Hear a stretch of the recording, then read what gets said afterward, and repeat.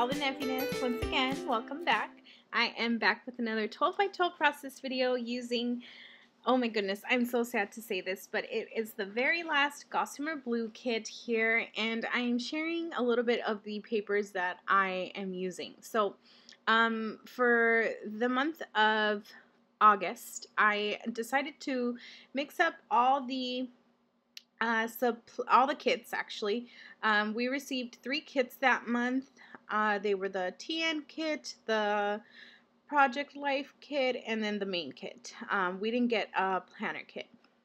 And so I mixed it all up and I decided that I was going to uh, create a layout with all the pretty colors. But first, may I please introduce to all of you guys my little kitty here.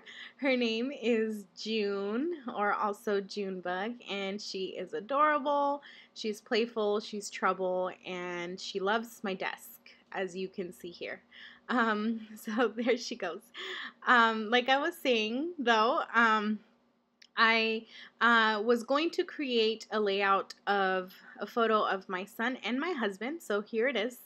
Um, and I'm using this paper here. It's got a bunch of uh, like colored squares, I guess, there are diamonds.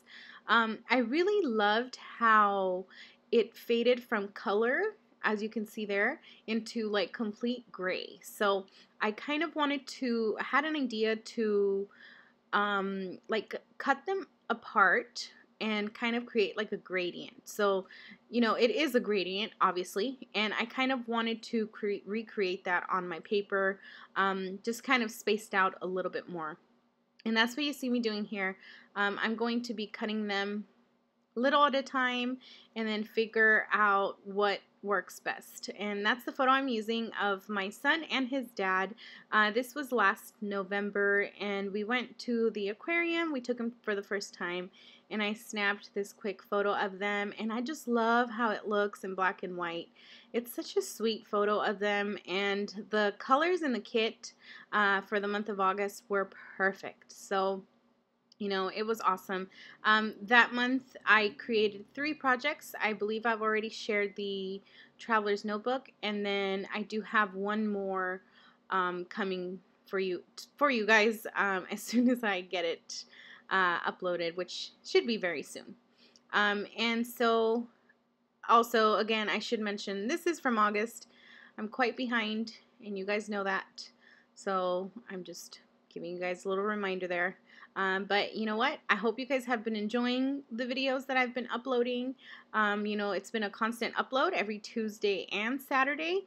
Um, I've been considering adding a third day during the week, but there's times when I'm just busy and I am not recording as much or even creating as much. Um, so I'm just going to keep it at two days a week. And I hope that's okay for you guys. I think that's enough. You know, it's a constant uploading. Um, you know, there's a constant, uh, what do you call it?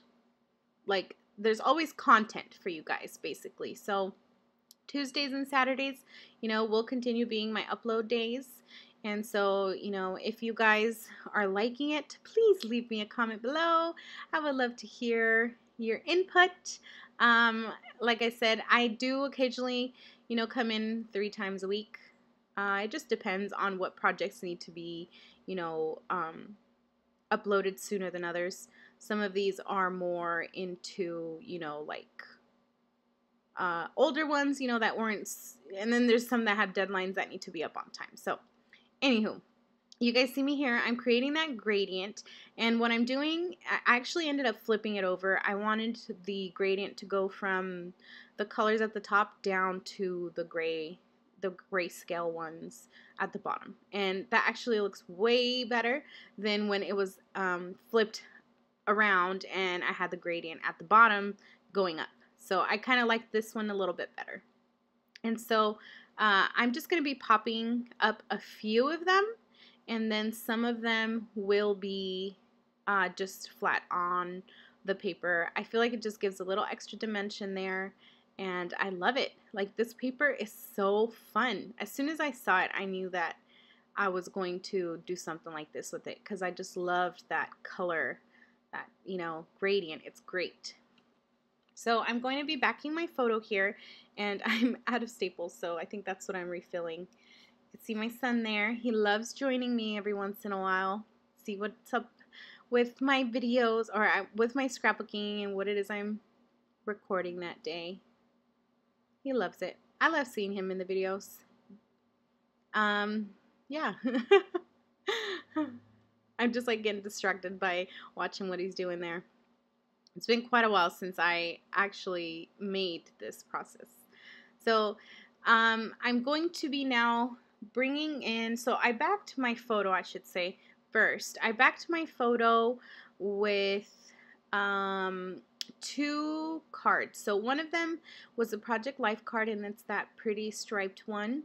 And then the other one was like a grid card, but that wasn't from the um, Life Pages kit. It was actually from the cut apart sheet that you guys saw me show at the beginning of the video. So we've got like balls on the table now. Holy moly. Um, and it's taking me quite a little bit to figure out what it is I'm going to use. Uh, the colors were pretty um, dark, so picking the right embellishments was a little bit tricky for me this time around. Um, and then again, uh, you know, I'm working with that gradient, so I didn't want it to be clashing or anything. Plus, like you know, as I said, the colors were quite dark, so they I felt like they could be just a little bit, um, you know, kind of like disappearing behind there. So you know, it's it was just a little bit lots of fidgeting and figuring it out. Um, I'm using, like I said, the, a mix of all three kits. So those acetate sheets are from the Traveler's Notebook kit. Um, the Happy Day, those little pieces are from the Life Pages kit, I believe. And so are the little word phrases down at the bottom. And yeah, like this is basically what I'm doing. I'm not really figuring things out quite yet. So, you know, I, I moved some of those away. Um, I'm going to pop my photo first. I feel like that's what I always do. Um, I know there's, uh, you know, scrappers out there who like to figure their placing before they start sticking stuff down. And I feel like when I do that, I lose the place of where I wanted things. So I always like to stick my photo down first and then I can start sticking everything around. You know, I don't really like to wait until the end to stick stuff down um, just because, like I said, I, I'll probably lose the place of where I had it once I, you know, remove it and try to put it all down again. Um, so I always just go for it. You know, you can't have no fear.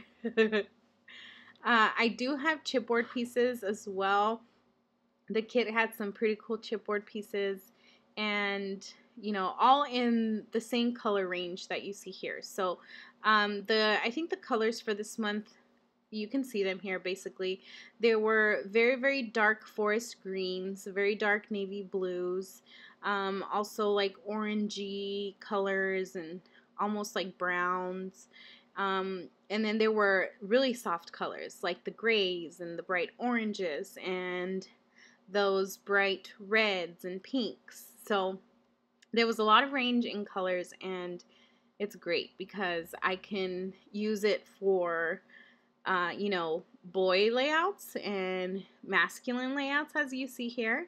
And then I could also use it, at, you know, for feminine layouts and, and softer, airy layouts. So that was one of the great things about the exclusive Gossamer Blue kits that I loved so much.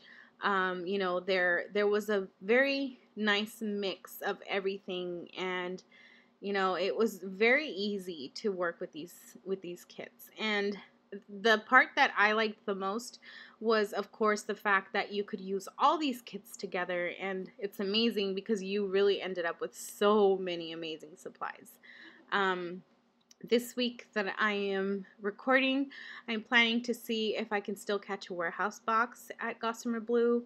Um, I'm really hoping that I do can still purchase one, and I hope that they still have a few of them left, you know. Um, I think they still have a few of these August kits, uh, so I will be ordering another set, and yeah, you know, I really haven't been using very many of them since these last few layouts I made. Um, but I do plan on, you know, popping in, popping in a, a few pieces of the supplies into my planner and also, you know, in a few layouts in my traveler's notebook. But to be honest, I think I'm kind of hoarding them. And I have no shame in that. so, um, I'm just working along here. I feel like I'm going really, really slow. It just took me a while. It really, really did take me a while to figure out exactly where I wanted everything to go. Um, we also have some of these uh, phrase stickers, so I'm going to be adding a few of those around.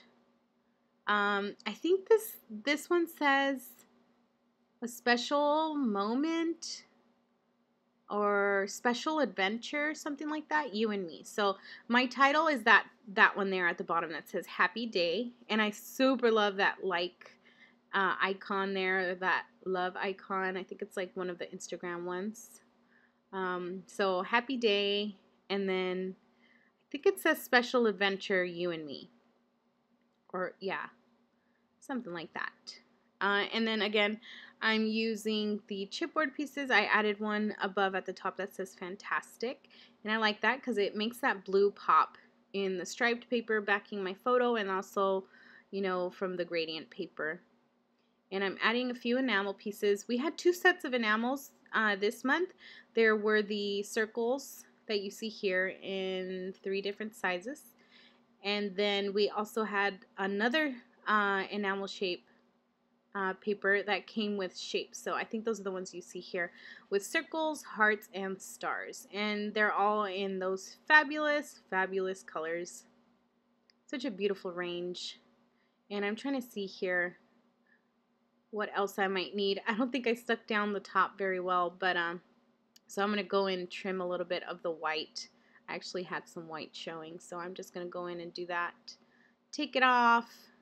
It happens sometimes and I decided that I was going to add a few splatters and I didn't actually after I did this I actually didn't really like the fact that I did do it um, because I was using so I had just recently gotten some white uh, what are these called Heidi Swapp Shine and I don't think I shaked it enough I think this one literally has to be shook like for ages until everything is perfectly mixed together to get that opaque white.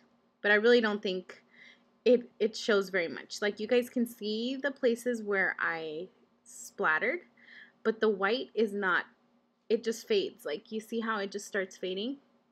So I really did not like that. And then I, it just kind of looked weird. But, um, oh well. I just thought it would really actually show because of my dark papers, but it looks like my paper is just literally absorbing it all.